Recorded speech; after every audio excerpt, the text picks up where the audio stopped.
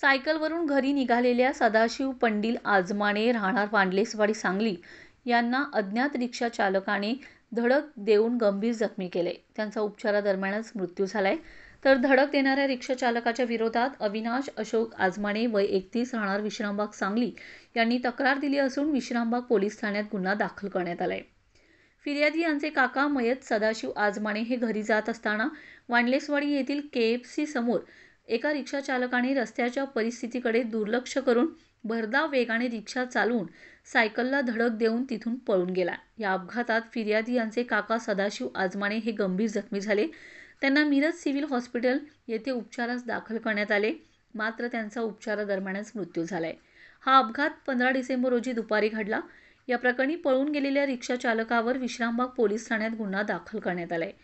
Police धडक देणारा त्या अज्ञात रिक्षा चालकांचा शोध घेत आहेत.